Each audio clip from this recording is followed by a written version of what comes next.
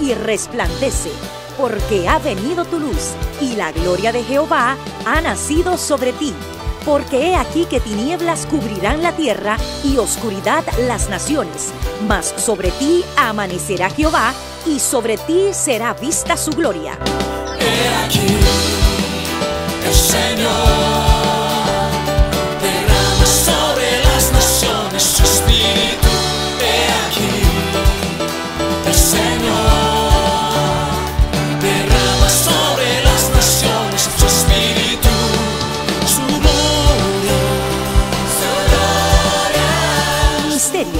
Amanecer de la esperanza, presenta su programa Voz de Restauración con el pastor Juan Radamés Fernández.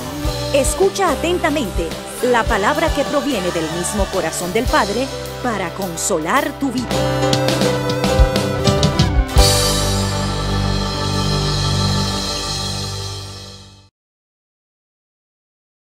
Eres bendito en el nombre de Jesucristo. Nosotros, tus hermanos del Ministerio del Amanecer de la Esperanza, te saludamos afectuosamente, sinceramente, en el nombre de Jesucristo, en el corazón de Dios, deseándote un día feliz con la bendición de Dios.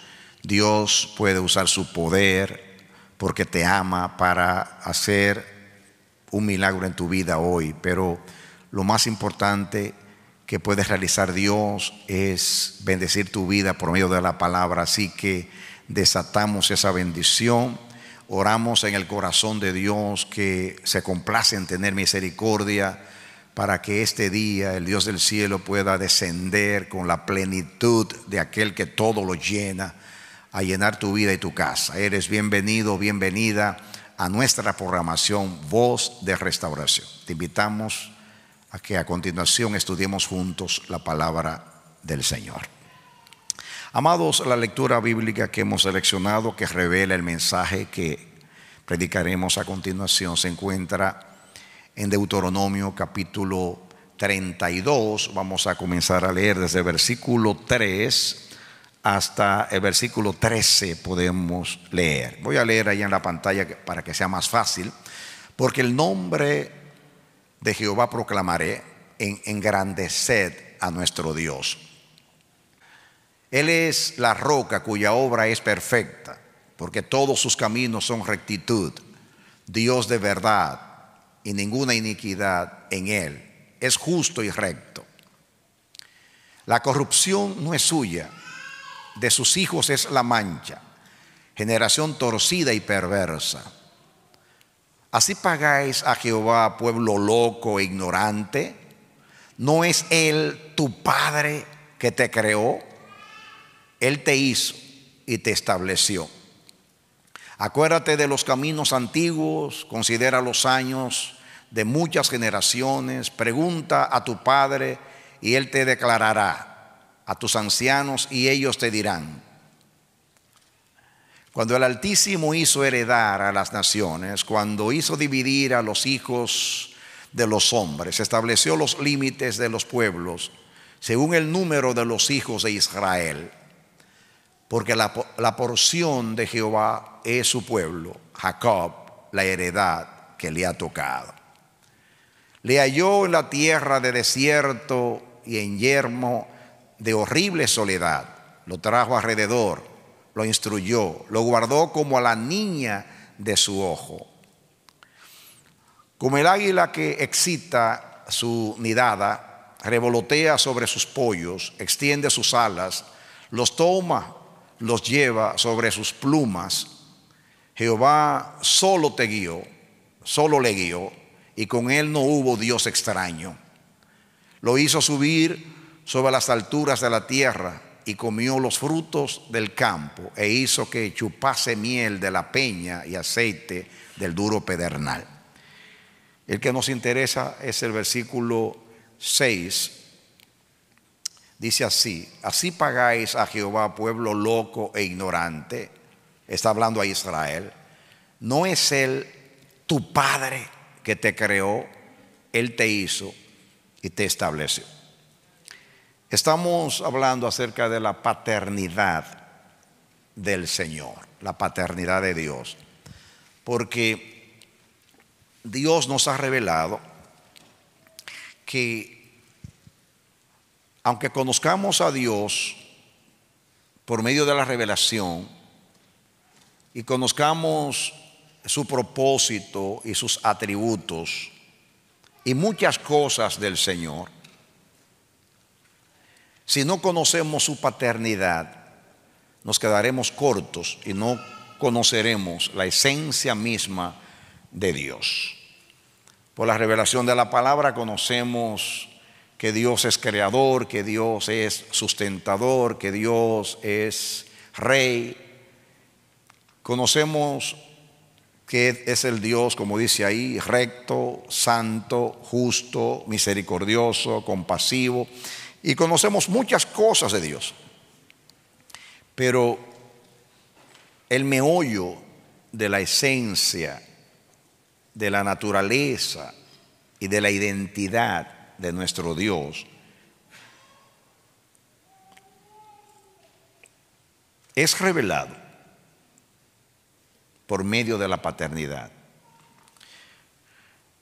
¿Cómo lo sé? Porque Jesús vino a hacer muchas cosas. Su misión era amplia. Él vino a redimirnos, pero vino a dar a conocer al Padre. He dicho muchas veces en, mis sermones o eh, exposiciones, mensajes, que Jesús, nuestro Señor, nos redimió, pero que la redención era un medio para alcanzar un fin. Yo llamo a la salvación los primeros auxilios del propósito de Dios. Porque la redención nos, nos reconcilia con Dios, aparta el impedimento para que podamos tener acceso a Dios, en este caso el pecado, que hizo separación entre nosotros y nuestro Dios. Así que la misión redentora de Cristo es el principio del propósito de Dios es esencial debido a que si Jesús no nos hubiese eh, redimido, nosotros no hubiéramos sido reconciliados con Dios y lo demás no se hubiese podido lograr.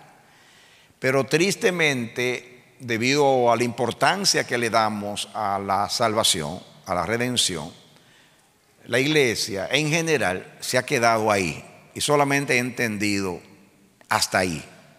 Y el énfasis siempre en la predicación, en los libros, en los cultos, generalmente es la salvación. No quiero de ninguna manera restar importancia a la salvación, porque ya dije, yo lo veo de esta manera, el día de la expiación, el día de Yom Kippur, en el calendario hebreo, era un día de humillación, un día de ayuno, un día donde el sumo sacerdote entraba al lugar santísimo para expiar los pecados del pueblo, limpiar el santuario de las inmundicias de los hijos de Israel. El sumo sacerdote se apartaba una semana, un tiempo, para purificarse. Se purificaba, estaba aislado purificándose, porque ese día era un día de juicio, en el sentido de que ese día, si él lograba hacer las cosas de acuerdo a lo estipulado por la ley de, Dios, Dios limpiaba el santuario y perdonaba a su pueblo. Él tomaba, él hacía un sacrificio por su vida y hacía un sacrificio por el pueblo, tomaba la sangre en el atrio, ahí en el altar de los sacrificios, tomaba la sangre del animal sacrificado y con esa sangre él entraba, primeramente traspasaba la primera cortina y entraba a, ese departamento, a esa parte del santuario, lugar santo. Y luego entraba al lugar santísimo, que solamente él podía entrar una vez en el año. Ese día él tomaba la sangre y dice la Biblia que él la derramaba sobre el propiciatorio. El propiciatorio era una lámina de oro una tapa que cubría el arca. Dentro del arca, sabemos, estaba la ley de Dios. Entonces, el propiciatorio es un lugar muy importante porque allí es que se alcanza misericordia. Cuando aquel hombre dijo Jesús, Señor, sé propicio a mí que soy pecador. Estaba haciendo alusión al propiciatorio, porque era el lugar donde se derramaba la sangre el día de la expiación. Y dice Primera de Juan que Jesús es la propiciación por nuestros pecados. La propiciación nos habla de misericordia. Y el sumo sacerdote tenía que recorrer el camino desde el atrio hasta el Santísimo, pero siempre llevando consigo la sangre de la expiación. La Biblia dice que sin derramamiento de sangre no hay remisión, no hay perdón para los pecados. Por eso es importante la redención. Después que era derramada la sangre, si Dios perdonaba a su pueblo, quiere decir que todo lo que el pueblo hizo en el año era cubierto era cubierto, así como el propiciatorio cubría el arca. De ahí salía la gloria de Dios, la Shekinah, y Dios manifestaba que estaba agradado, que por medio de la sangre del animal sacrificado, la expiación, Él perdonaba a su pueblo. Dios me introduce por eso, porque cada vez que menciono esto debo aclarar para que no, no dar la impresión de que estoy desvirtuando o limitando eh, la importancia de la redención. Sin redención no hay nada. Todo lo que viene después es por causa de la redención. Cuando usted esté en el cielo, allá adorando al Señor en el propósito eterno, acuérdese que usted, usted todo se lo debe a la sangre de Cristo. Toda nuestra deuda, todo lo que Dios logra después es un resultado de que nos aceptó y nos perdonó en Cristo Jesús. Así que mi intención no es restarle importancia, sino decir que Dios no se quedó ahí, que tenía que hacer eso para poder lograr lo demás. Pero si nos quedamos solamente en la cruz y en la redención, entonces no estamos entendiendo la plenitud de la salvación. Dios cuando creó al hombre, como ya estudiamos, Dios era el Padre. Jesús de lo que más habló fue acerca de la paternidad de Dios. Usted busca una concordancia, la palabra Padre, y se va a dar cuenta todas las enseñanzas de Jesús acerca del Padre. Él no decía tres palabras sin hablar del Padre, en todos los aspectos de la vida del Padre. Él nos llevó al Padre. Y Dios no le comisionó a ninguno de los profetas, a ninguno de los profetas el Señor le asignó la tarea de revelar la paternidad, porque solamente uno conocía al Padre. Como dice el mismo Jesús, a Dios nadie le conoció jamás. El unigénito que estaba en el seno del Padre, Él vino a darlo a conocer. Y nadie conoce al Padre sino el Hijo, y aquel a quien el Hijo se lo da a conocer. Así que el Hijo no solamente es quien revela al Padre, sino que a través del Hijo se conoce al Padre. ¿De acuerdo? Yo tenía una intención hace varias semanas atrás de exponer un mensaje de la paternidad de Dios, pero el Señor no lo pude predicar el mensaje porque me quedé en la introducción, Dios nos dio cosas muy lindas y enfatizó, marcó la importancia, acentuó la importancia que tenía la paternidad y entendí por el Espíritu que Dios quiere que hablemos y estudiemos más de la paternidad de Dios, para que conozcamos, conozcamos la esencia del Padre. Cuando la Biblia dice que Dios es amor, está hablando de su paternidad. Cuando dice que es misericordioso, está hablando de la paternidad. Cuando dice que es sabio, el solo sabio Dios, eso es paternidad. Porque esos son los atributos que Dios usa para ser el Padre de los padres, el Padre perfecto. Comencé a hablar de el engendramiento y hablé de la paternidad de Dios desde el punto de vista natural. o sea, su relación paternal con la creación física, tangible, natural.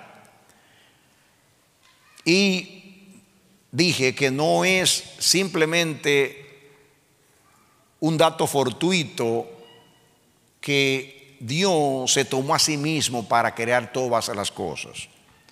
Yo les dije que una, un engendramiento o una, una procreación eh, se engendra cuando dos personas, en este caso cuando hablamos de los humanos, el hombre y la mujer, tienen una relación íntima, un coito, y fusionan dos células, una masculina y otra femenina. Ahí, cuando eso ocurre, eh, se da lo que se llama fecundación.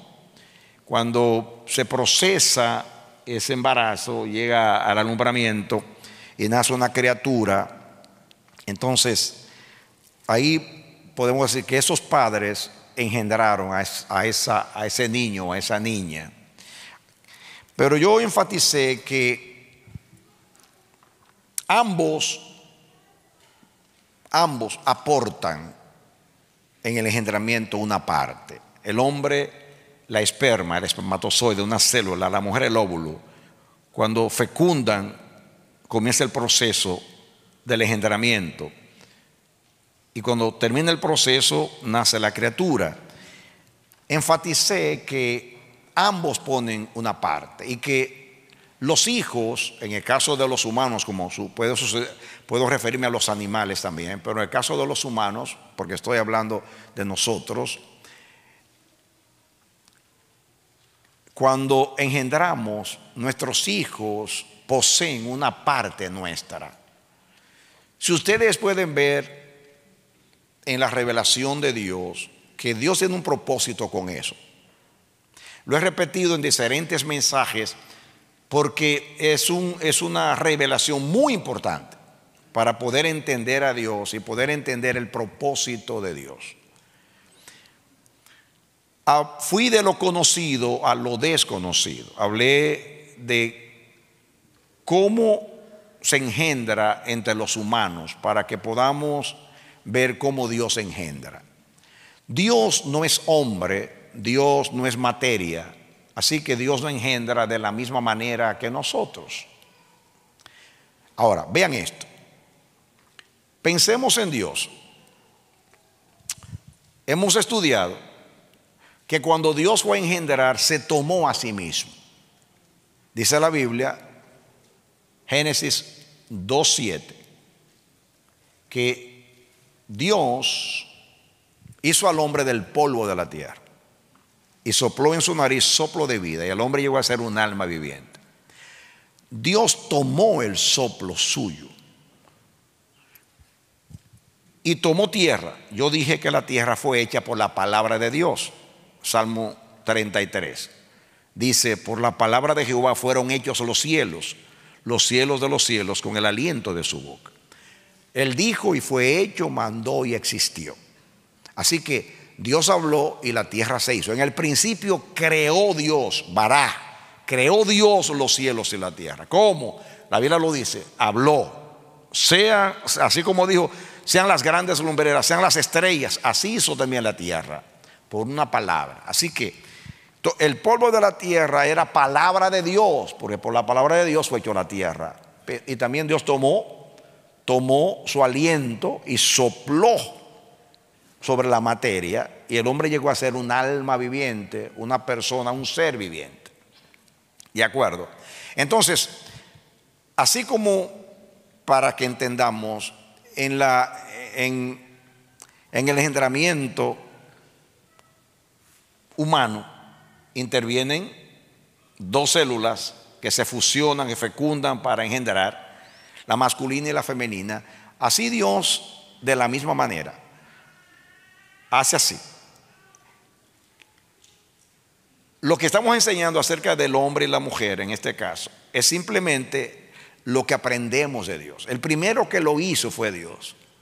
Tomó, vamos a decir así para que lo entiendan, que el óvulo es la tierra, el polvo de la tierra, y que el esperma es, la, es el soplo de Dios. Y se juntaron las dos cosas, pero ambas cosas, en este caso, proceden de Dios. La tierra porque Él la creó con su palabra, y el soplo porque es la respiración, el aliento de su boca, que fue infundido al hombre, que fue impartido al hombre. Y cuando se fusionaron esas dos cosas, el polvo de la tierra con el soplo de Dios, el hombre llegó a ser engendrado. Y creó Dios al hombre a su imagen. Génesis 1, 26 y 27. Y creó Dios al hombre a su imagen. A imagen de Dios lo creó. Varón y hembra. ¿Qué? Los creó. Barak. Cuando dice ahí a su imagen, es porque una imagen proyecta las características del objeto que se está proyectando. En este caso, Dios. Entonces, nuestros hijos también tienen nuestra imagen, nuestra identidad, tienen nuestra genética, el ADN o DNA, tienen las características de nuestra herencia y, ellos también la pasan a las próximas generaciones. Y eso es lo que nos identifica con nuestros hijos. Pasa lo mismo con Dios, es lo mismo.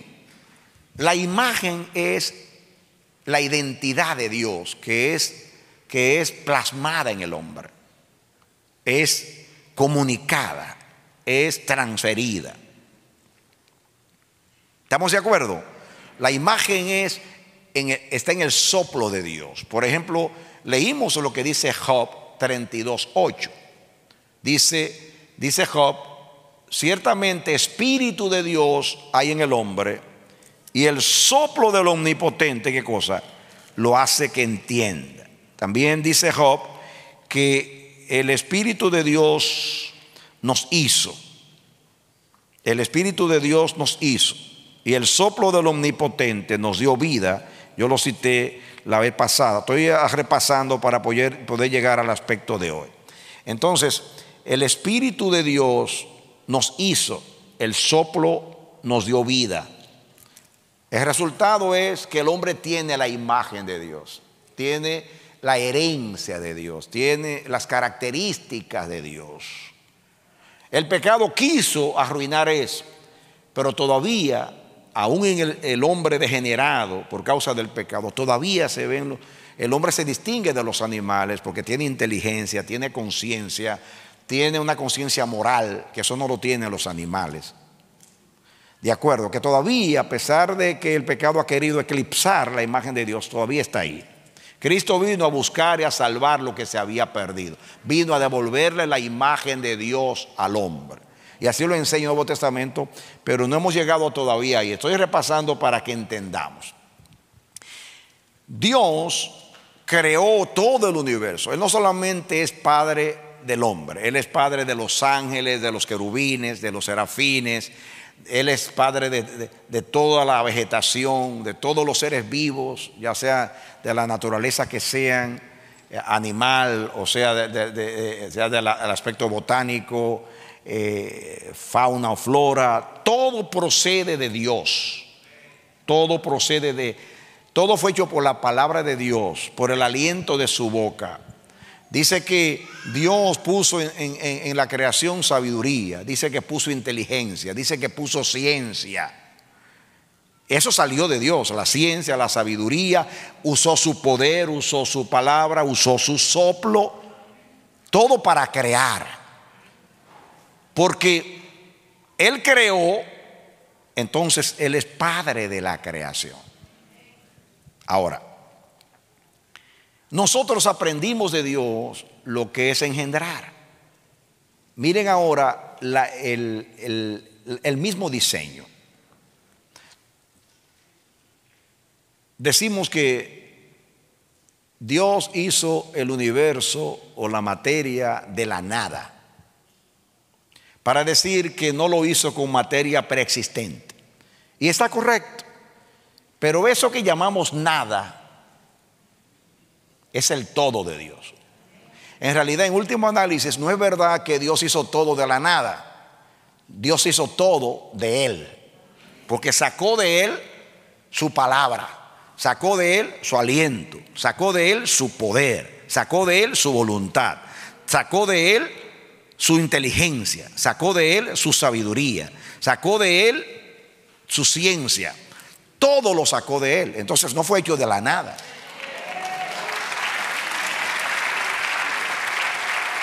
Amén.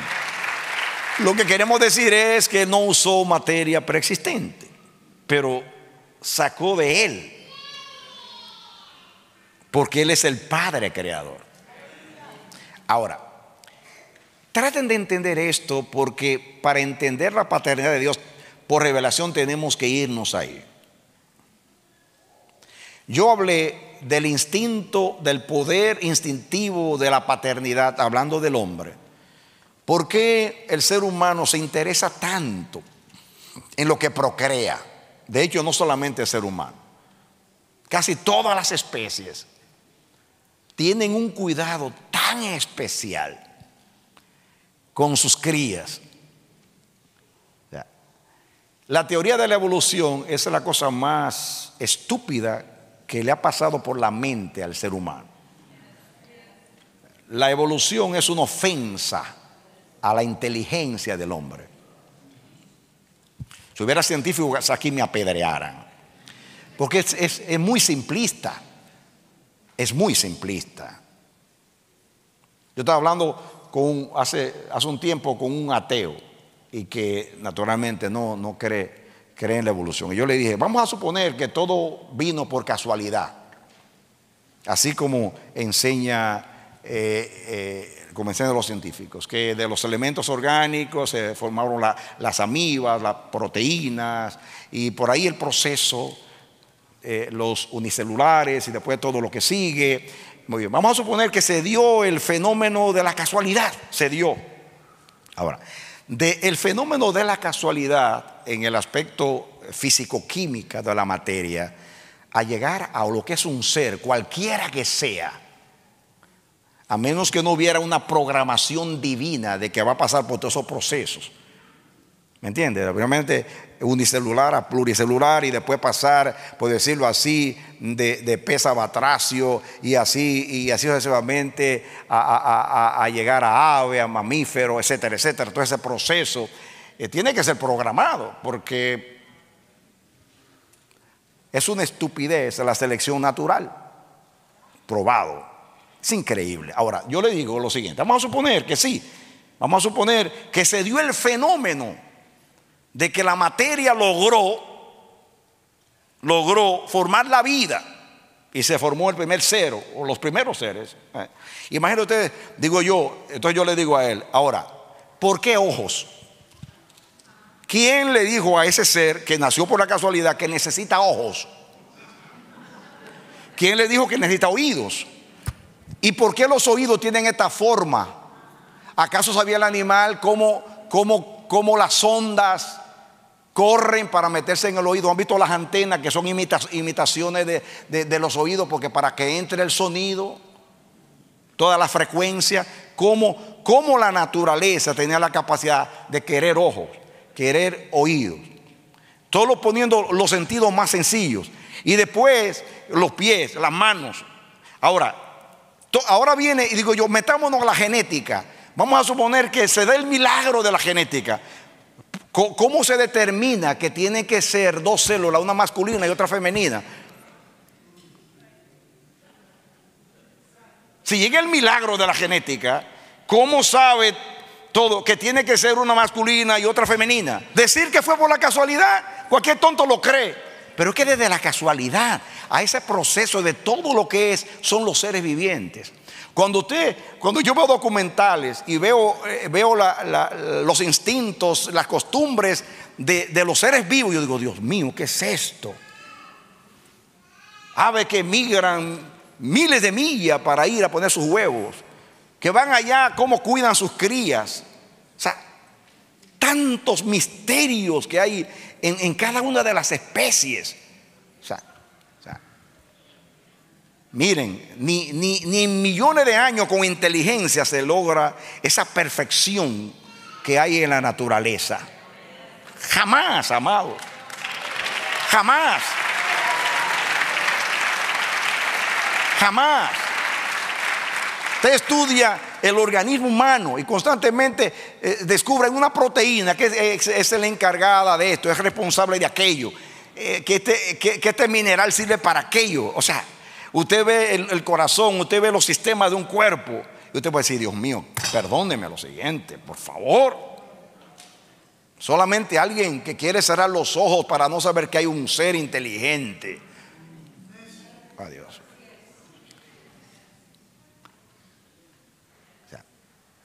Si todo fuera una casualidad, los seres vivos se reprodujeran y tiraran sus crías así, y se fueran. Ustedes ven que ellos viven para procrearse. Hay, hay, hay, hay especies, amados, que, que viven 24 horas. Y hay algunas que se esconden, hay insectos que se esconden por varios años y salen solamente a procrearse. Y se mueren. ¿Dónde diablo inventan eso, hermano? Perdónenme la palabra, que tengo que mencionar. Tengo que mencionar al diablo porque fue el diablo que lo inspiró. Por favor. Por favor.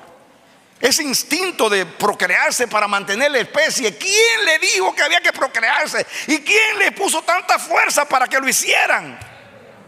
No se trata de una casualidad.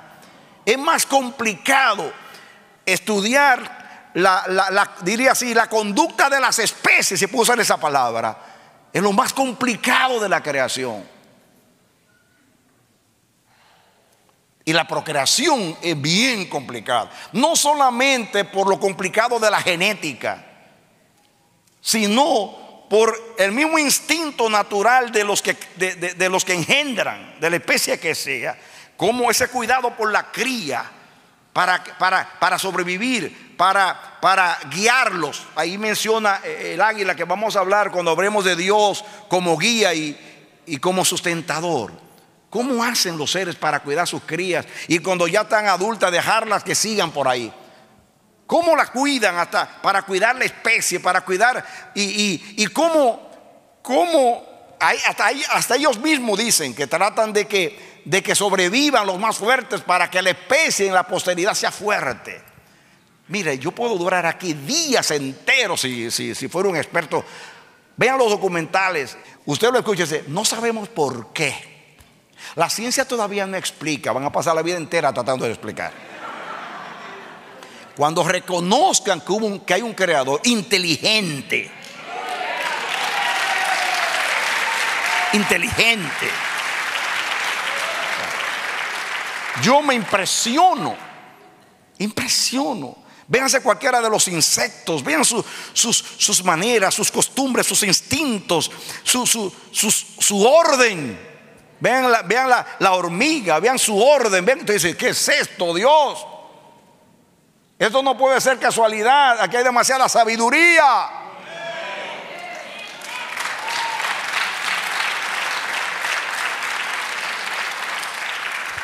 La Biblia habla que en los últimos días va a haber hombres sin afecto natural.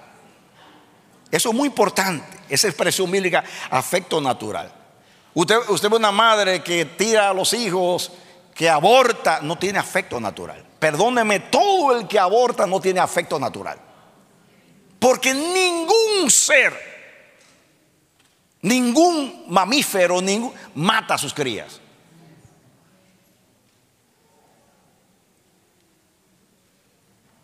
El hombre solamente.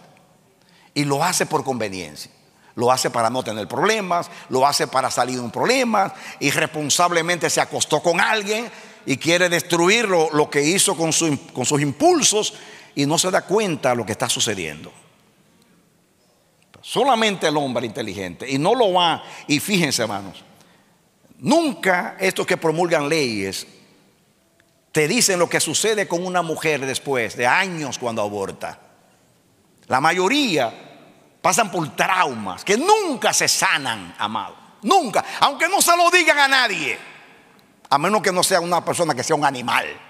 Porque hay seres humanos que están tan traumados, tan trastornados, que ni sienten ni padecen. están tan heridos por lo que han vivido en su vida, que se odian a sí mismos, se aborrecen a sí mismos y, y ahí pierden el afecto natural. O sea, ya no son humanos, ya son bestias, son ni bestias, porque las bestias tienen afecto natural, son máquinas. Y a eso que están, a, a eso que están llevando, arrastrando al ser humano, a ser máquinas sin, sin afecto natural. Ustedes saben, miren hermanos, voy a decir algo por el espíritu que se me ocurrió ahora. Si Cristo no viene, si Cristo no viene, esa, esa misma afección, se cree que desde que se legalizó el aborto en Estados Unidos, se han matado más de 40 millones de niños en Estados Unidos. ¿Sabe lo que? No, no todos los países tienen 40 millones de habitantes. El efecto dañino en la mujer cuando mata a, a, a sus criaturas, a las mujeres, el efecto de, de, esa, de esa persona, eso sigue, hermanos. Aunque no se vea, y te lo digo ahora por el espíritu, no ni por la psicología ni por la ciencia, la sociedad está siendo dañada. Porque estamos destruyendo el afecto natural. Y cuando un ser humano le matan el afecto natural, es una máquina. Daña a la persona y daña a sus generaciones, daña a la sociedad, rompe el ciclo, rompe el ciclo, diríamos existencial, que son leyes que, muchas veces no son visibles, pero están ahí. Dios no puede ser burlado. Todo lo que el hombre siembra, eso cosecha. Ahora, pero cuando el ser humano tiene afecto natural, usted puede ver algo que le puede ayudar a entender a Dios. Y, y, por eso estoy hablando de esto. No puedo meterme en esos temas, sino para decir a ustedes que Dios todo lo hizo perfecto. Y que no es simplemente cuando un ser humano va y, tiene una relación sexual con una mujer cualquiera, como hoy, que, que una persona va a un lugar y eso se aplaude y se acuesta con cualquiera. Yo digo, ¿cómo es posible? Eso no es amarse a uno mismo. Que usted llega a un lugar y ve a una persona y porque me gusta físicamente y saber qué diablo es esa persona y se acuesta con esa persona y, y hasta sale embarazada muchas veces. Tanto el hombre como la mujer. No solamente es responsabilidad, es algo que no tiene manera de ser evaluado. Y yo no estoy hablando como un pastor, estoy hablando desde el punto de vista natural. Más que somos seres inteligentes. Hoy le aplauden a la mujer y al hombre que hacen eso. Lo ven como wow, pero no saben el daño que se hacen ellos mismos, que hacen a los demás. Y responsablemente muchas veces nacen niños, criaturas que son engendradas en esas circunstancias. El resto ya ustedes lo saben, lo que sucede.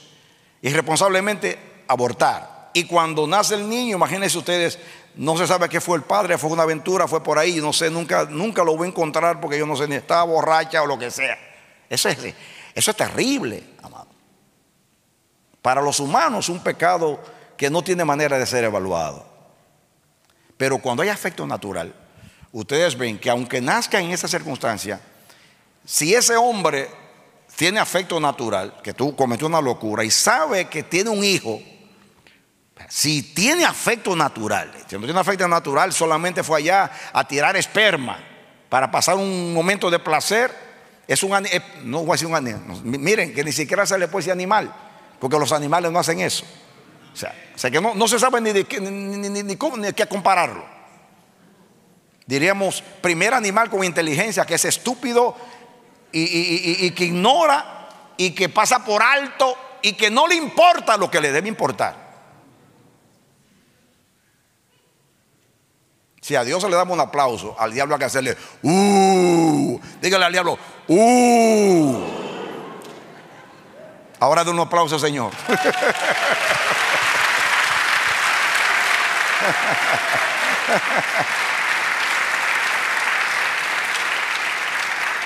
Entre más estudio a Dios, más amo a Dios. Entre más leo las escrituras, entre más revelación, entre más entiendo el Espíritu revelado en la palabra, más sublimizo la gloria de Dios.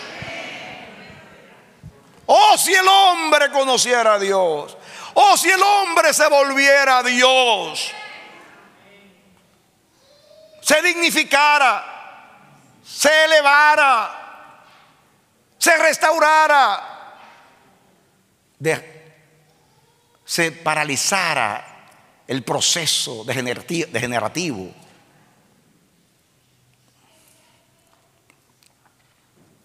Dios lo diseñó así. Comenzó con Él como el creador.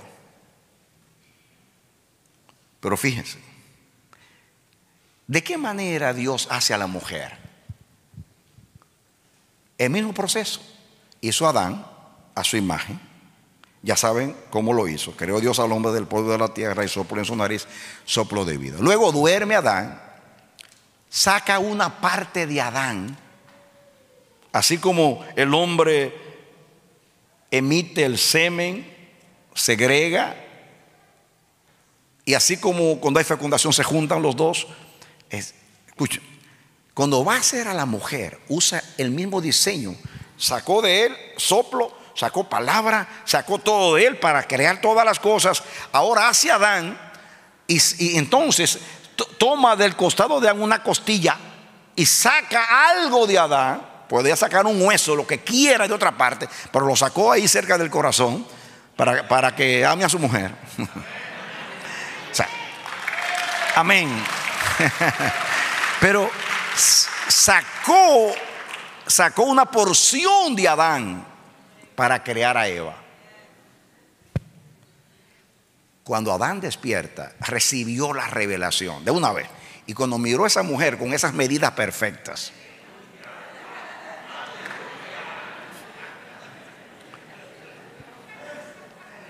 lo que más le impresionó no era la belleza de Eva, sino que salió de mí. Y dijo, wow, todo eso salió de mí. Óyeme, yo no sabía que con una costilla se podía hacer algo tan hermoso.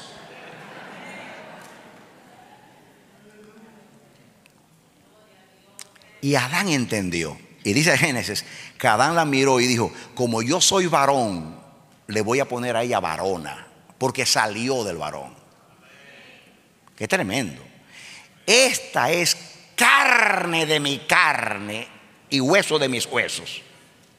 Y ya no somos dos, somos uno porque salió de mí.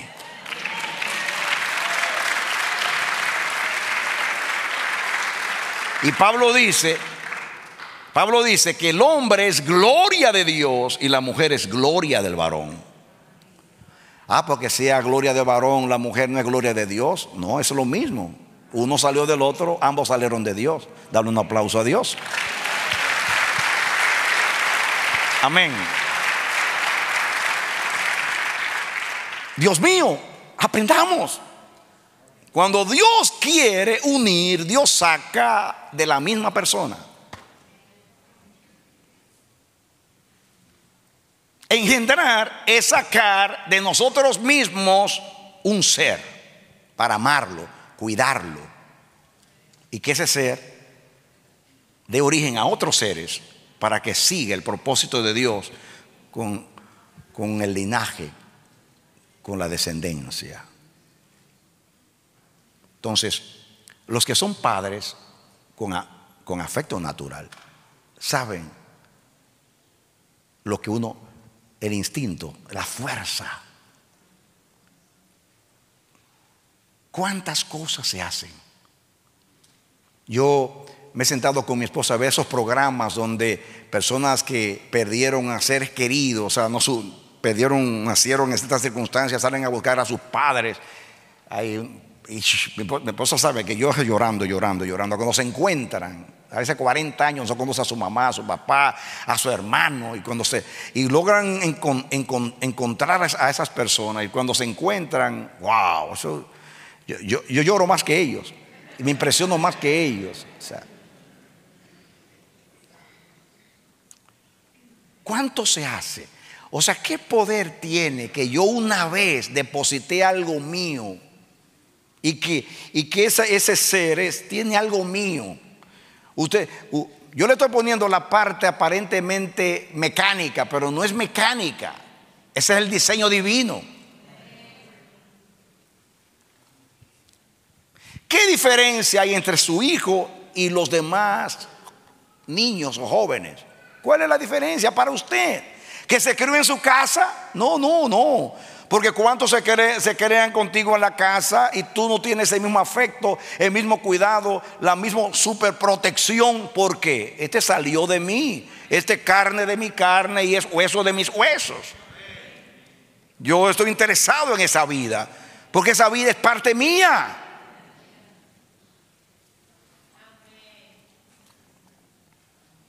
Entonces, eso explica por qué eres tan importante para Dios. Porque tú eres un hijo, una hija de Dios.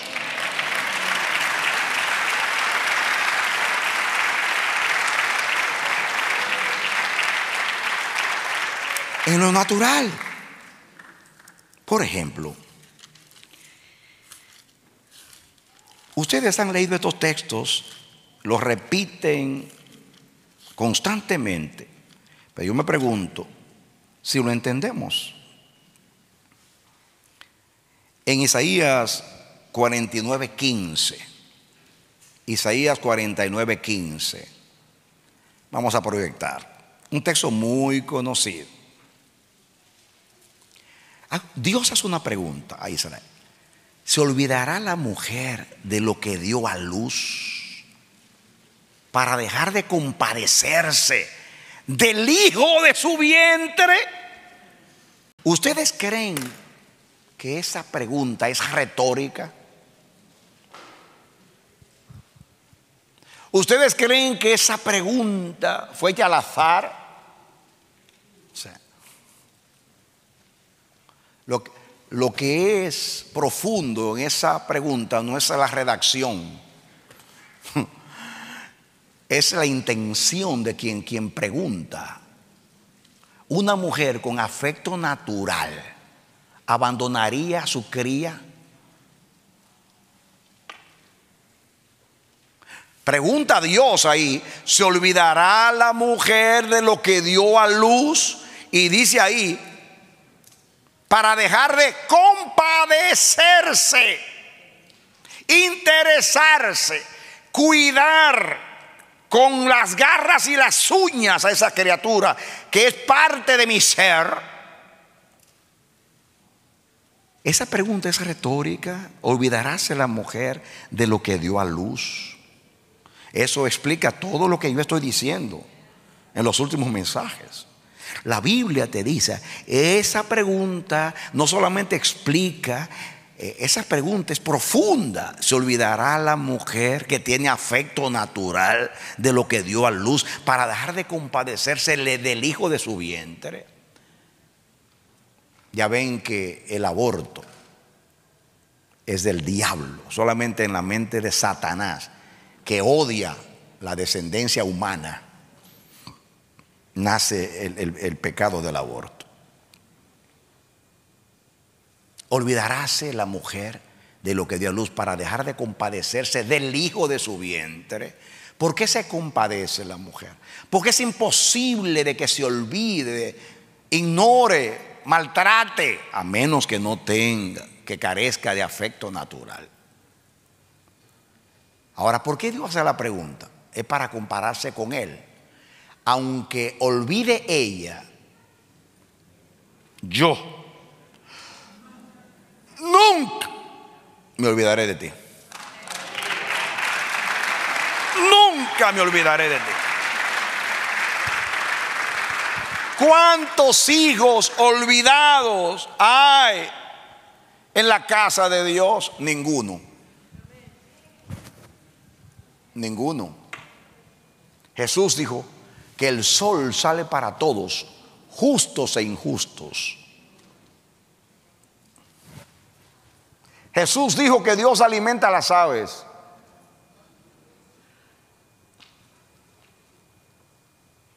Estamos 104. Dice que todo ser viviente espera en Él. Abren, abran la boca y Él, él, a través de, de, de, las leyes naturales, él, él les lleva el alimento. Si le quita el aliento, dejan de ser.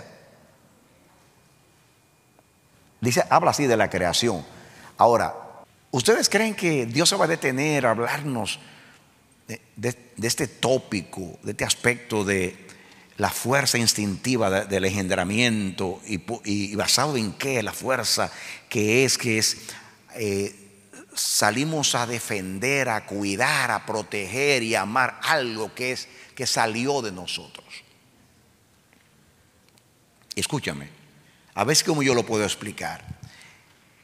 El cuidado que tú tienes para tu hijo, el amor, el afecto, el interés, eh, eh, esa fuerza para cuidarlo y protegerlo y hasta exponer tu propia vida para cuidar a esa criatura. Yo te estoy dando la explicación bíblica revelada por qué tú lo haces. Pero tú nunca habías pensado en eso. ¿Tú crees que tú puedes decir, ah, yo lo cuido porque es esperma mío? Hasta, hasta mecánico se ve. Ah, no, es que es un óvulo mío. ¿Cómo no lo voy a cuidar? Es un óvulo mío. Nadie dice eso, suena como estúpido.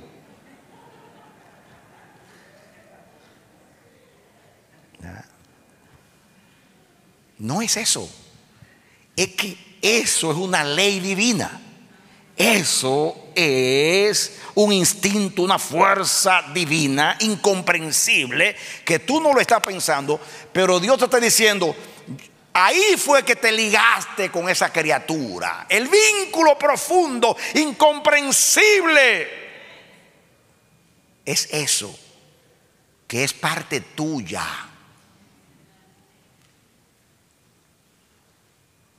Ahora pueden entender el texto. El Hijo del Hombre vino a buscar y a salvar lo que se le había perdido. Que se le perdió el aliento del hombre.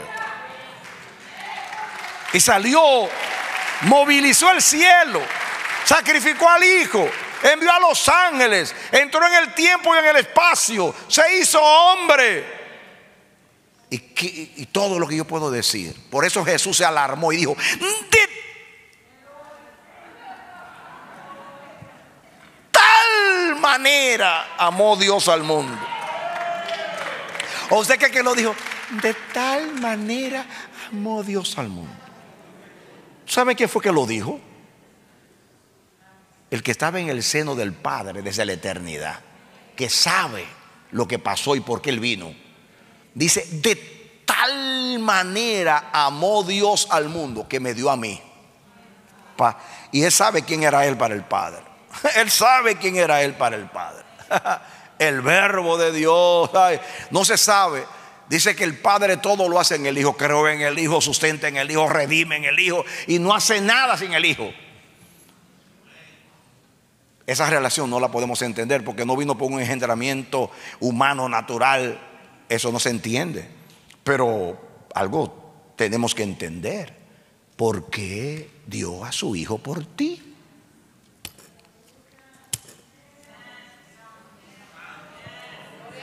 ¿Por qué lo dio por ti? ¿Qué importancia tú tienes? Olvidarás de la mujer de lo que parió. Yo no me voy a olvidar de ti. Aunque, e- aunque ella se olvide, yo nunca me olvidaré de ti. Y no importa lo que yo tenga que hacer. De tal manera te amé que di lo que más amaba. Para mostrarte que tú eres lo que yo más amo.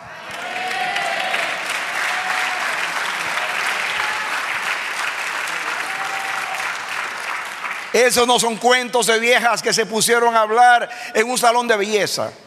Esa es la revelación de la palabra bendita de Dios. Eso usted lo lee, usted lo repite.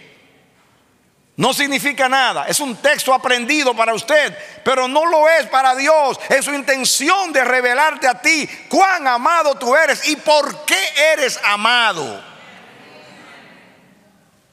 En ti hay un soplo de Dios. Y si un día se te mete duda acerca de la resurrección, déjame decirte que la Biblia dice que el polvo de tu cuerpo se ha quemado o se lo coman los gusanos, vuelve a la tierra donde vino, pero el espíritu va a Dios que lo dio. Ese soplo no se pierde, ese va para arriba.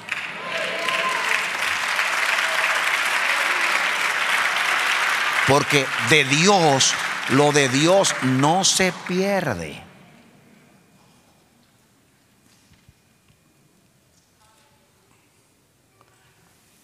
Nunca me olvidaré de ti. Never. Nunca me olvidaré de ti. Ahora, las emociones, la culpabilidad y muchas otras cosas pueden hacerte creer que tú eres como el tamo que arrebata el viento, algo que nació se lo llevó el viento. A veces nacimos y crecemos en circunstancias que son indignas. Niños que nacen de una violación, niños que son abandonados y, ni conocen a sus padres.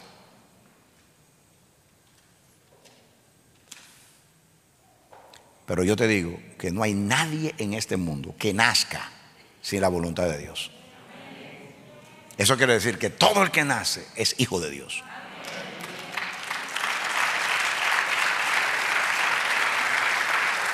No hay nadie tan desgraciado que no tenga la gracia de Dios. No hay nadie tan desahuciado que la sangre de Cristo no pueda sanarlo.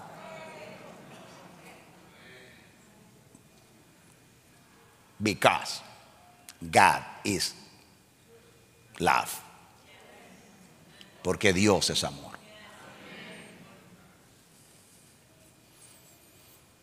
Puede ser que tú no fuiste un, hijo deseado, ni una hija deseada. Generalmente los niños no deseados por sus padres vienen traumados.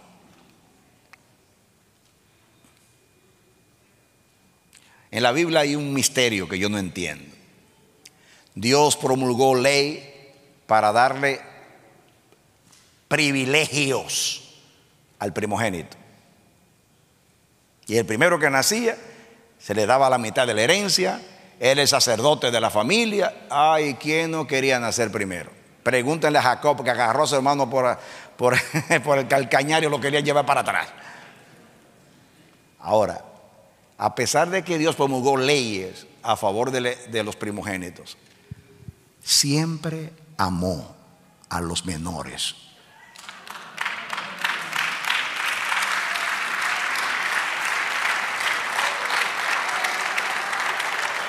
siempre se inclinó hacia los menores.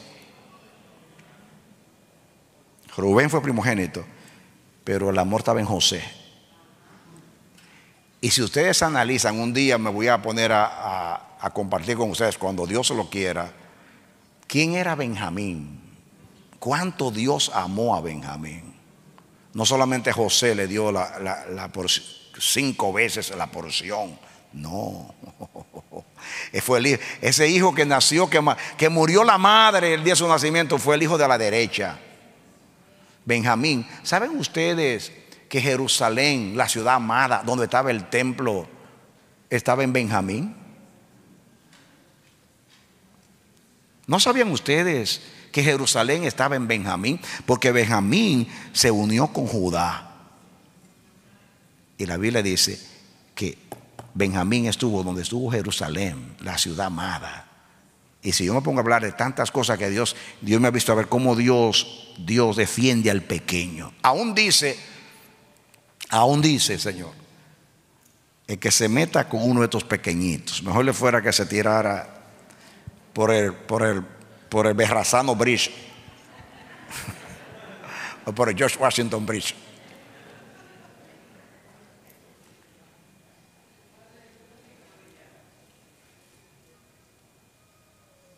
¿Saben ustedes por qué las madres tienen más capacidad para amar que los hombres?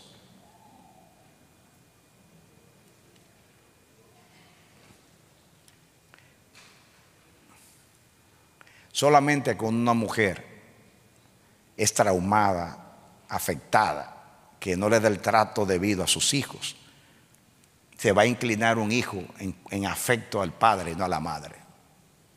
El vínculo que hay entre una madre y un hijo es incomprensible. ¿Saben por qué? Porque la relación no es la misma. Aún en la procreación, el padre depositó la esperma y vino la fecundación. Amén. Y aunque esté ahí en la casa, y aunque le dé todo el cariño, la mujer no solamente puso el óvulo, la mujer puso su cuerpo entero, nueve meses. Por ahí, por el cordón umbilical lo alimentaba, lo nutría. Le, le, le comunica a esa criatura a sus miedos, sus alegrías, su todo. Por eso lo compara con la mujer.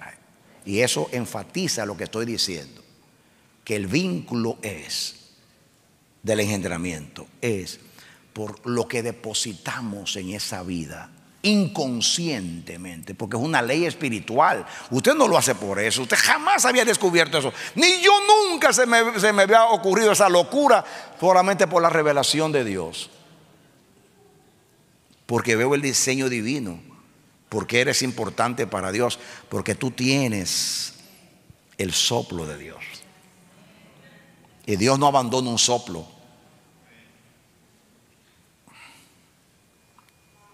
¿Usted entiende eso? Por eso dice, si se diera el caso que la mujer se olvidara del fruto de su vientre, yo nunca me voy a olvidar de ti.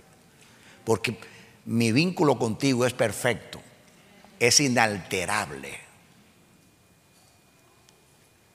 Eso explica por qué Dios soporta tanto a la humanidad. Porque es tan misericordioso. Es que somos parte de Él. Somos parte porque fuimos planificados. No somos hijos fortuitos al azar que fuimos procreados por casualidad. Tú naciste en la mente de Dios antes de que el mundo existiera. Tú fuiste elegido, fuiste llamado, fuiste creado a su imagen y fuiste redimido y comprado por la sangre de Cristo.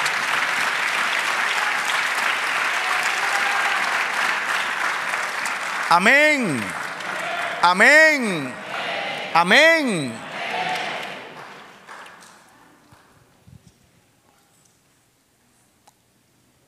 La grandeza de la honra consiste en quién es que te honra.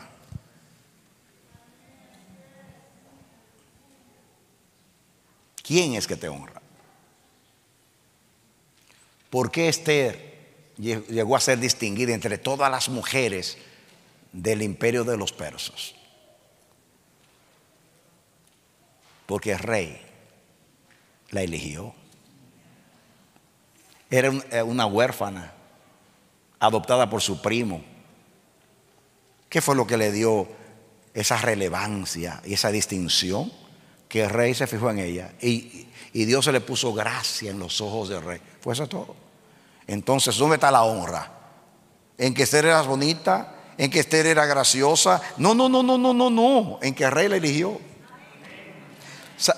¿Tú sabes por qué tú eres de alta estima, honorable, distinguido, porque fue Dios que te amó, fue Dios que te distinguió, fue Dios que te honró.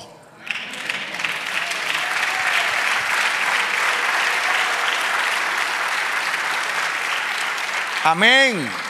Como decían los antiguos, ¿quién soy yo y la casa de, mi, de mis padres? Tú no eres nadie, pero el que te eligió sí es alguien.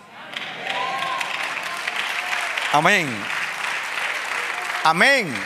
Así que tú nunca debes decir que tú no vales nada. Puede ser que para ti mismo tú no valgas nada, ni para tu madre, ni para tu padre, ni para tus compañeros en el trabajo, porque te discriminan, te rechazan, porque eres ignorante, porque no estudiaste, porque eres de baja, no tienes ningún tipo de preparación académica, o porque eres de tal país, o, tienes tal color en tu piel. Aunque todos ellos te abandonaran y te rechazaren, Jehová no solamente te recogerá, Eres de alta estima para Él. Eres honorable. Amén. Amén. Amén. No te confundas. Las circunstancias que tú has vivido, por negativas que sean y parezcan, no manifiestan que tú no eres amado. Todo lo contrario. Todo lo contrario. Nadie se pone a, purificar el plomo o el cobre o el estaño no se, no se le dedica tanto tiempo. ¿Y por qué al oro se le dedica tanto tiempo y lo, y lo someten al fuego?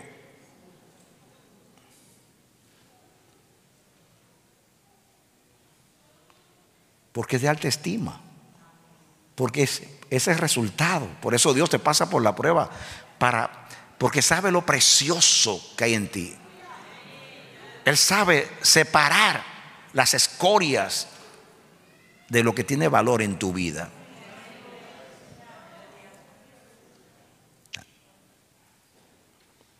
Si tú no lo crees, eso te va a hacer daño en tu vida, pero no va a cambiar a Dios. Siempre te va a seguir amando.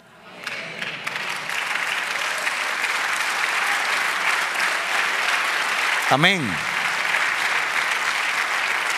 Ahora tú puedes ver la importancia de la fe. Esa es una verdad no solamente revelada en las escrituras, sino una verdad que la podemos ver el mundo existe por lo que yo estoy hablando, porque Dios es Padre. Si Dios no, si Dios fuera solamente juez, el hombre no existiera. Si solamente fuera rey, el hombre no existiera. Si solamente fuera Señor, el hombre no existiera. El hombre existe porque Dios es Padre. Amén. Como juez, Dios no tiene otra alternativa que condenar al hombre y mandarlo al infierno.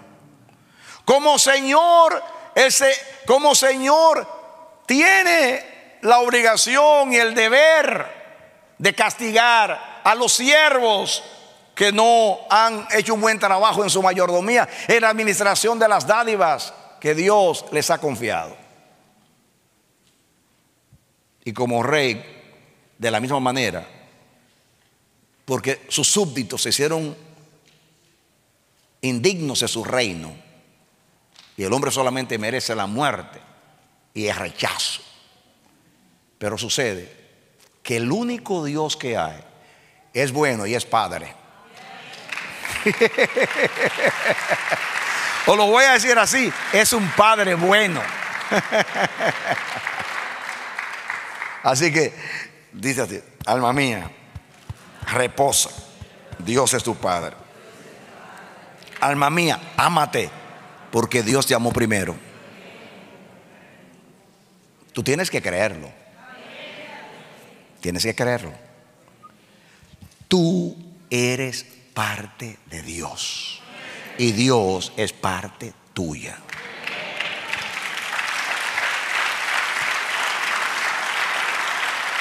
Amén. Yo iba a hablar de la paternidad de Israel, por eso es este pueblo loco. ¿Cuántos locos hay que no entienden a su padre? Esto es duro lo que dice ahí. Póngame el texto ahí. Deuteronomio 32:6. Mire cómo Dios le dice a Israel: Cuando deja que yo entre a, la paternidad de Dios con Israel, así pagáis a Jehová, pueblo loco, ignorante. Si Dios nos hiciera así a nosotros, porque somos locos y somos ignorantes.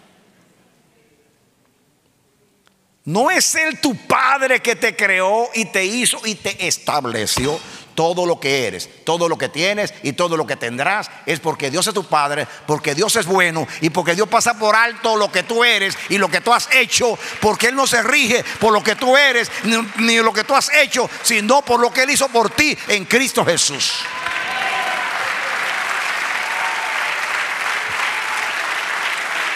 Aleluya. Dios es bueno y para siempre su misericordia. Qué tremenda reprensión. Así tú le pagas, pueblo loco, ignorante, al Padre que se ha amado tanto. aunque Él hable así fuerte, aunque Él se indigne, Él no cambia.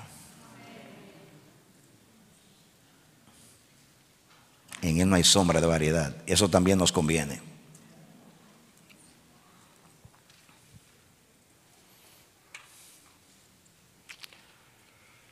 Yo puedo aplicar eso, pero voy a leer los otros textos y, ojalá que Dios me dé el tiempo para llegar a, a ese pensamiento que ya me venía, que lo dejé. Salmo 103, 13 y 14. Salmo 103, 13 y 14. Escuchen esto. Como el Padre se compadece de los hijos, compadecerse. Dígalo conmigo, compadecerse. Esa palabra está muy relacionada con la paternidad. Compadecerse. Los padres que tienen afecto natural y aman a lo que salió de ellos, llegan a ser compasivos. Miren otra vez que lo que enfatiza es la compasión de la madre, aquí ahora la compasión del padre. Como el padre se compadece de los hijos, se compadece Jehová de los que le temen. Ese compadece de todo el mundo. Pero aquí está hablando de los que le temen más todavía, que son los hijos amados como Jesús, que viven para agradar al Padre. Pero este es otro tema que viene ya cuando lleguemos, lleguemos al Nuevo Testamento. Aquí es que ustedes vean que como el Padre se compadece de los hijos,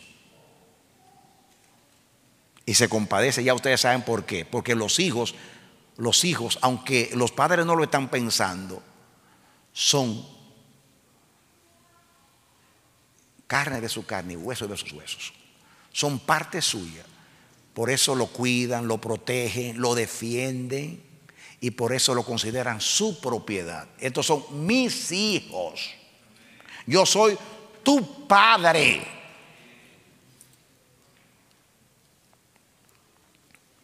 Diga compasión. Leamos el otro texto. Salmo 27, 10. Ahora ya hablamos de la madre que se compadece y del padre que se compadece. Ahora miren, miren, miren, mírenlo aquí combinados. Aunque mi padre y mi madre me dejaran, ¿cuántos saben que el que abandona es porque dejó de compadecerse? Amén. Aunque mi padre y mi madre me dejaran, Jehová con todo me recogerá. Dale un aplauso, Señor. Amén. Esto no es retórica, un lindo salmo, una poesía bonita. Esa es la palabra de Dios. El día que te abandone tu padre, tu madre, porque perdieron la compasión y, te abandonen y te echen, tú sabes dónde ir. Al que nunca te va a abandonar. Él siempre te va a recibir. No salgas de aquí diciendo qué lindo mensaje. Di mensaje verdadero. Me adueño de Él. Dios es mi Padre. Dios me ama. Soy de valor para Él. Porque a final de cuentas eso es lo que Dios quiere alcanzar con estos mensajes. Que tú entiendas por qué te ama. Tú naciste en la mente de Dios antes de los tiempos de los siglos. Él te eligió desde antes de la fundación del mundo. Él te separó. Él quiso crearte. Cuando te pediste dio un mandamiento para salvarte. Envió a su hijo lo que más amaba. ¿Saben ustedes por qué Dios envió al hijo y no a otro? Porque si Dios hubiera mandado a Miguel a morir por ti, una muestra que te amaba, pero no tanto. Se hubiera mandado a Gabriel, es amor, pero no suficiente. Pero si envió al Hijo, te quiso decir, no hay amor más grande que este.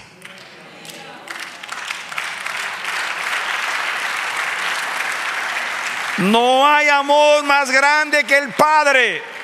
Porque cuando te quiso decir, el tamaño de su amor lo manifestó dando lo que más amaba. Por eso Jesús dijo, de tal manera amó Dios. No, no, no así, de tal manera. Para como, hablarte de las dimensiones. Yo lo amo, hasta voy a matar la gallina por él. No, no, lo amo un poquito más. Mátame el chivo por él. Yo creo que lo amo un poquito más. Mátame la vaca por él.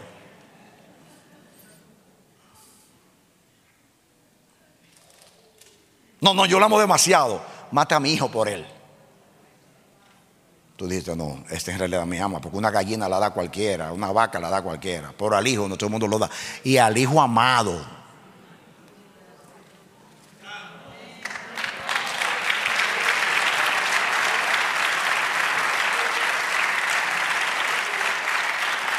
Estas cosas fueron escritas para nuestra enseñanza y para nuestra convicción. Cállale la boca al diablo. Deja de estar escuchando las estupideces de aquel que fue el primero que cayó y que hizo caer a nuestros padres, cuyo destino es el infierno, que está lleno de amargura y de enojo contra Dios. Créele a Dios. No escuche esas voces que te dicen que tú no vales nada, que tú no le importas a nadie. Dios te dice ahí, todos te pueden abandonar y yo estaré contigo, al lado tuyo, todo el tiempo. Amén. Amén. Amén. Amén. Y aunque tú no lo veas, aunque tú no lo busques, aunque tú no lo veas, Él está cerca de ti.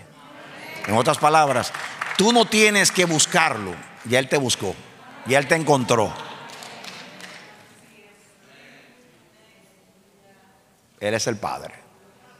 Un padre con afecto natural nunca abandona a sus hijos. Siempre es compasivo, siempre es comprensivo, siempre es amoroso y está dispuesto a, a, morir por sus hijos cuando es un verdadero padre. Ahora, si el padre natural, porque aquí está comparando, nos está comparando con, con el amor más sublime de la madre y del padre, para decirte que el amor de él excede a todo conocimiento.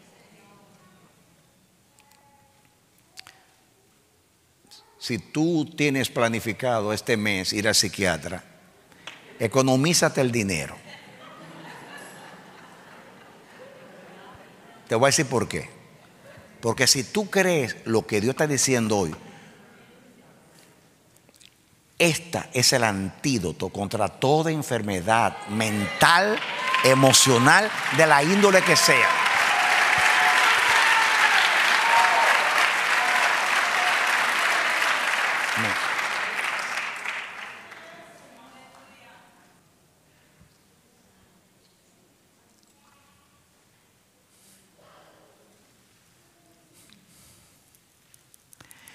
Hay algo que el diablo no quiere que tú creas. Y es que Dios es tu Padre que te ama.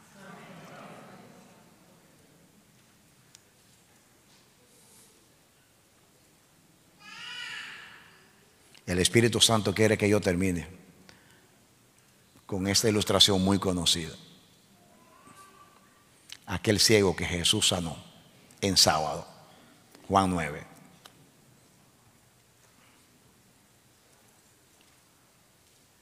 Y que lo llamaron y le preguntaron, ¿cómo usted sanó? Tomó lodo, me lo untó en los ojos y me dijo, velávate y fui sano.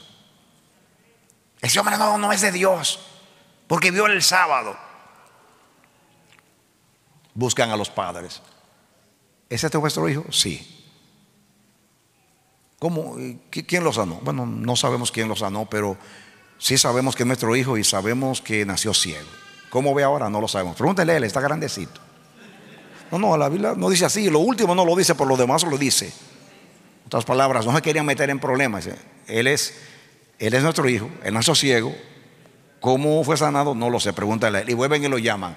Óyeme, ¿quién fue que te sanó? Jesús. ¿Y cómo lo hizo? Ya le he dicho un montón de veces que tomó lodo, mentó en los ojos. Yo veo. ¿Ustedes quieren creer en Él? Se enojaron.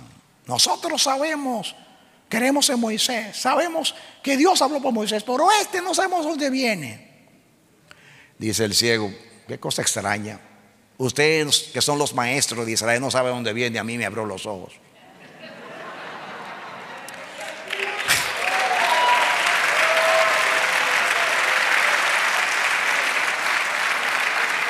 Y desde que yo era niño que iba a la escuela sabática, porque no era escuela dominical, me han enseñado que Dios oye a los pecadores. Y este hombre me sanó un ciego de nacimiento.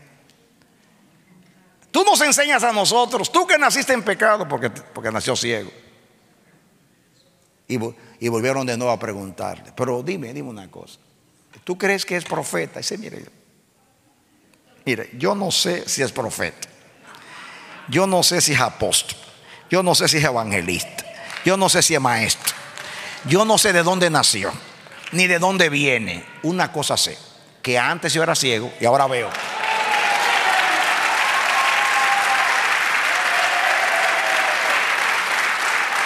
Dile así al diablo. Dile así al diablo. Tu madre te abandonó. Tu padre te violó. Los vecinos te daban patadas. Anduviste por las calles pidiendo limosnas. Tuviste preso injustamente. Y el diablo te va a decir, nadie se interesa por ti. Dios no te ama. Tú le vas a decir, es cierto que me violaron, es cierto que me abandonaron, es cierto que anduve en las calles, pero una cosa sé, que Dios me ama.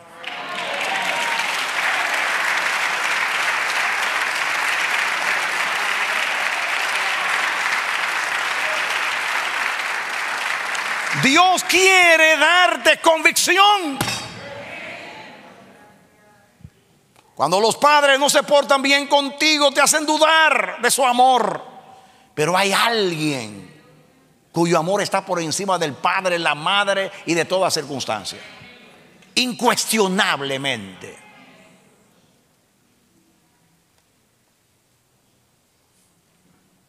Cristo es la respuesta de Dios a todas las acusaciones y dudas que el diablo pueda meterte en la cabeza. Dile al diablo, y si no, y si no, me, y si no me ama como tú dices, ¿por qué dio, por qué, por qué dio a su hijo? Tú no vas a resucitar, te vas a quedar en ese hoyo. ¿Tú, ¿Y por qué resucitó a su hijo? Cristo está en la respuesta para parar todo dardo de fuego del maligno. Dale un aplauso al Señor. Amén. Amén, amén, amén, amén, amén. De tal manera amó Dios a Juan Radamés Fernández que dio a su hijo. No lo aplique al mundo, a ti fue que te amó. A ti es que Dios te ama. Él es tu Padre. Él es tu Padre, por eso Él va a suplir tus necesidades. Él es tu Padre, por eso va a enviar los ángeles para que te cuiden. Él es tu Padre y por eso va a evitar que tú te pierdas. Él es tu Padre y Él te va a evitar el infierno. Él es tu Padre. Y hará todo para que tú estés donde Él decidió que tú estés. En su presencia para siempre. Aleluya. Aleluya. Abashaka, manda, raba. Alábale, bendícele, exáltale. Dios es bueno, Dios es bueno, Dios es bueno. Oro al Dios y Padre del Señor Jesús. Oro para que la fe ahora mismo se avive en ti. Se va toda duda. En el nombre de Jesús. No tienes el derecho de dudar de tu Dios. No tienes ningún derecho. No hay ninguna razón para que tú dudes del amor de tu Padre. De ninguna manera. Reprende toda experiencia traumática, negativa, que te hace dudar del amor. Del amor de aquel que es amor, el Padre. Aleluya. Bendícele, alábale. Eso es feos terapia, terapia de Dios. Es Cristo terapia, terapia de Cristo. Es neumaterapia, terapia del Espíritu. Aleluya. Es logos terapia, terapia de la palabra. Aleluya. Rema terapia, terapia del rema de Dios. Amén. Dios es nuestro Padre. Dios es nuestro Padre. Somos parte de Dios. Tenemos el aliento de Dios. Nacimos de Dios en el Espíritu. Aleluya. Amén. Amén. Eso solo yo lo sé. Una cosa sé. Eso es lo que tienes tú que saber. Que Dios es tu Padre, que Dios te ama. Lo demás es añadidura. Toda enfermedad mental y emocional, todo trauma. Todo esa, esa, amargura que hay en tu corazón, esas dudas, esas tinieblas que oscurecen tu interior, todo eso se disipa con la luz del amor del Padre. Déjalo entrar. Déjalo entrar a tu vida hoy. Déjalo entrar a tu vida. Basta ya, basta ya. No sigas perdido. Tu Padre es el camino. No sigas enfermo. Tu Padre es la medicina. Tu Padre es la medicina. Vuelve como el pródigo a la casa de tu Padre. No importa que tú hayas malgastado los bienes del Padre, tu inteligencia, tus, tus dones, tus talentos, tus recursos, viviendo perdidamente. Malgastaste la herencia. Pero hay algo que nunca va a cambiar. El Padre te ama y siempre te va a recibir. No importa cómo, cómo regreses a la casa. Oremos, Padre bendito, Dios eterno. Una vez más traté de hablar otra cosa y me hiciste detenerme donde tú querías. Porque tú querías, Dios, tocar esas fibras profundas, impartirnos la convicción de la gran verdad de toda la Biblia y de toda la revelación. La verdad de que tú eres el Padre. Te conocemos como Dios y te honramos como tal. Te conocemos como Rey, te damos adoración. Te conocemos como Señor y te, tememos. Pero Dios, hay algo que nos hace pertenecer a ti y a tu casa y es que nos diste la autoridad de ser llamados hijos de Dios. Mirad cuán amor nos ha dado el Padre, que seamos llamados hijos de Dios. Señor, levantamos nuestras manos y decimos gracias. Gracias por amarnos incondicionalmente, Señor. Limpia nuestro interior. Limpia nuestro interior. Hay tantas cosas que nos hacen dudar limpia nuestra mente. Danos la terapia de la paternidad, del amor del Padre hoy, Señor.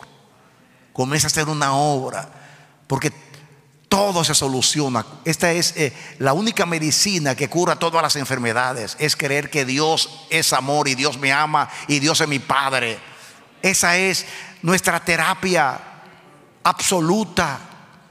Ayúdanos a creer esta verdad Imprégnala en nosotros, Señor. Plásmala en, el interior. Escríbela con cincel de hierro y punta de diamante. Oh Dios, gracias por hablarnos. Impártenos hoy lo que tú quieras, Señor. Que se rompan las cadenas, Señor. Que se disipen las tinieblas, Señor. Libera nuestro interior Haz que creamos que tú eres nuestro Padre y que tú nos amas. Gracias, oh Dios. Gracias.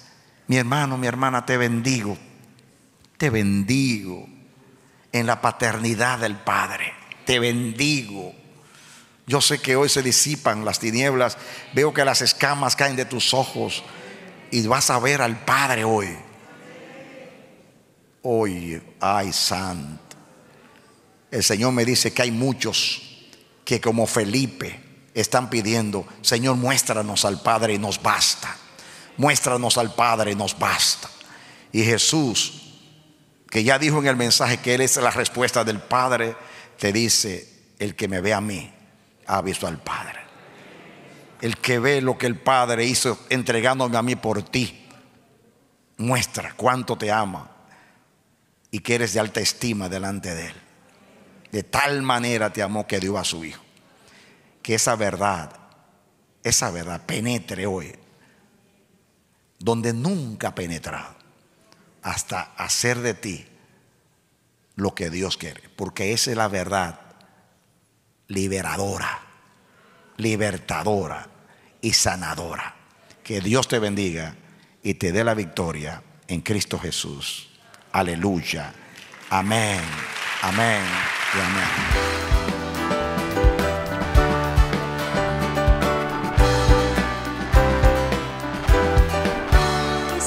Ha sido su programa Voz de Restauración. Si desea comunicarse con nosotros, escríbanos al PO Box 70, Bronx, New York 10473 o visita nuestra página web www.elamanecer.org. Nos despedimos hasta la próxima. Que Dios te bendiga.